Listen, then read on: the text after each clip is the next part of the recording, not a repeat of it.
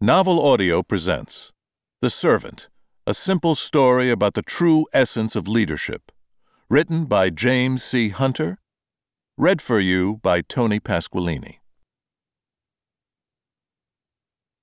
Introduction The world is changing.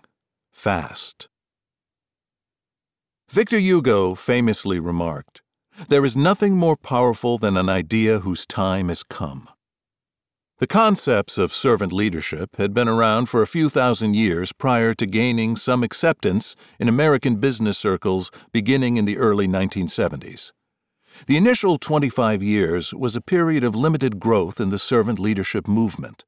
But over the past 15 years, we have witnessed a major shift in leadership thinking and an explosion in interest in servant leadership. As an example, when I did an Amazon.com search for servant leadership in 1998, there were eight titles listed, the majority of those out of print. That number is now 4,600 and rising quickly.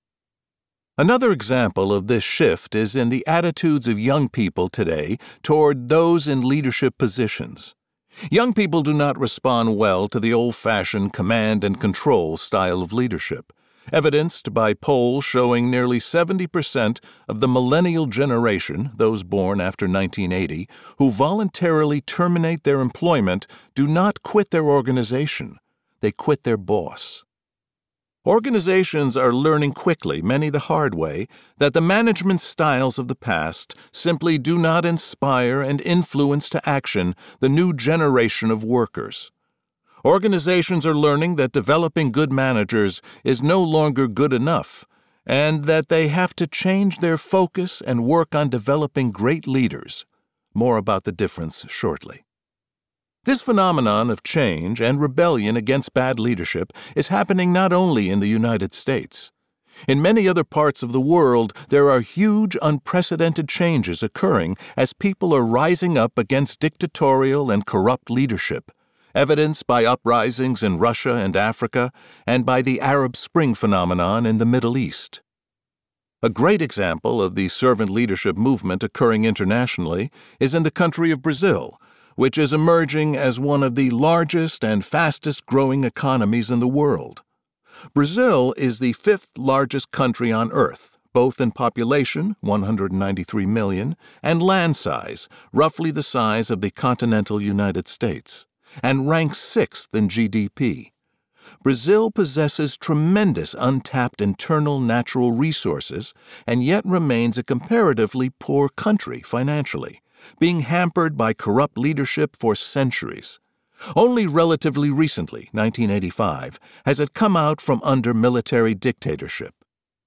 In 2005, The Servant, renamed O Monge e o Executivo, Portuguese for the monk in the executive, was released in Brazil and has been on the top 10 bestseller list to this day. When I first visited Brazil in 2005, I've now returned more than 20 times to speak on servant leadership. The Servant was selling 60,000 copies per month. For perspective, the number two book in Brazil at that time, The Da Vinci Code, was selling fewer than half that number.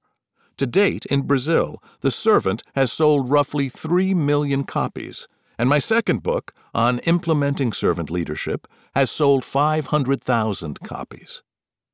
These sales numbers in America would put The Servant as one of the top selling business books ever. And yet these numbers are from Brazil, a relatively poor country ranking 76th in the world in per capita income, and certainly not a country known for buying books. I'm not sharing these numbers to boast, but to give evidence of the dramatic change occurring in the world. Believe me, no one has been more surprised than I by its success. I mean, really, Brazil? So, what is the draw? Servant leadership is simple. When lecturing, I often tell my audiences, you are not going to learn anything new from me today. Everything you need to know about leadership you already know. It all boils down to one simple little rule you learned a long time ago. And that simple rule is to treat people the way you would want to be treated. The golden rule. You know, be the boss you wish your boss would be. the parent you wish your parent had been more fully for you, the neighbor you wish your neighbor would be. Today, I am not here to instruct you. Today, I am here to remind you. One would think leadership is a complicated subject with all the interminable books and seminars. Not true. I routinely teach leadership to boy and girl scouts, teenagers, and Sunday school kids, and they easily grasp the principles. In fact, they are typically amused at how simple leadership really is. Simple, but by no means simplistic. Leadership is influence. My 33 years of experience working with literally hundreds of organizations and thousands of managers, supervisors, and executives have convinced me that leadership is a very misunderstood word, and servant leadership even more so.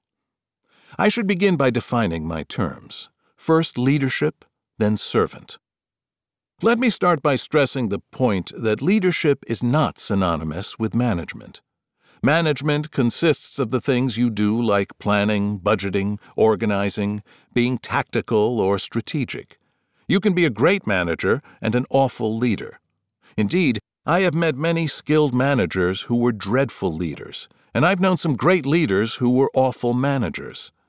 I have met many managers who were skilled at problem solving or whizzes around balance sheets, yet couldn't successfully lead two people to the drinking fountain if their lives depended upon it.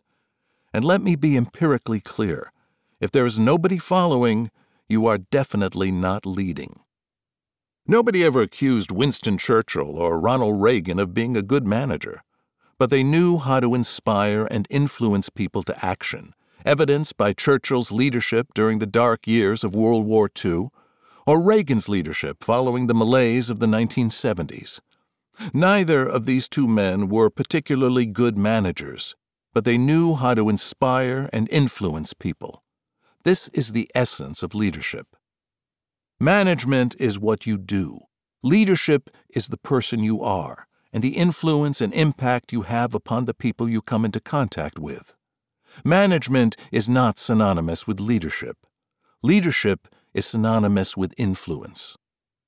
Ken Blanchard, author of The One Minute Manager, has been one of America's leadership gurus the past four decades. He sums up his entire leadership experience by simply saying, Leadership is an influence process.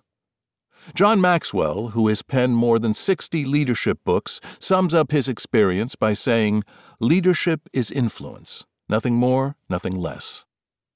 Everyone is a leader because everyone influences other people every day for good or not so good which is why you don't have to be the boss to be a leader.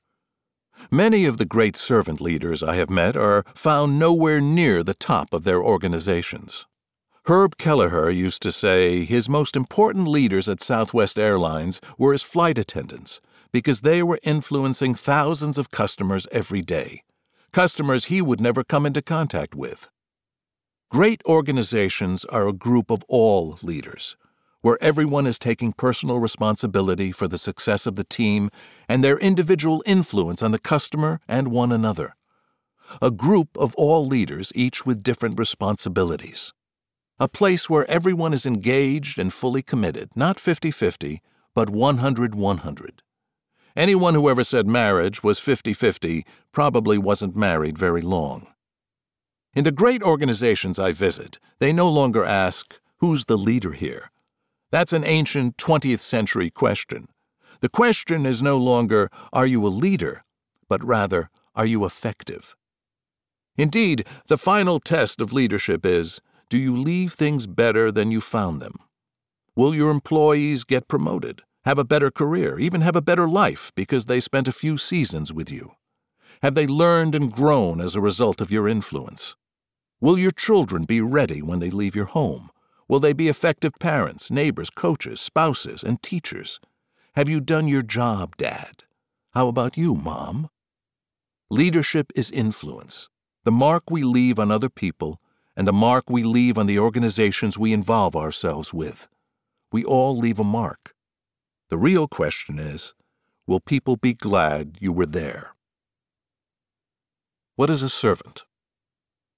Being the servant is simply the business of identifying and meeting the legitimate needs of the people entrusted to your care. Meeting their needs, not their wants. Being their servant, not their slave. And what they need may not be what they want. What your children or employees may need will probably look a bit. We hope you enjoyed this preview. To continue listening to this audiobook on Google Play Books, use the link in the video description.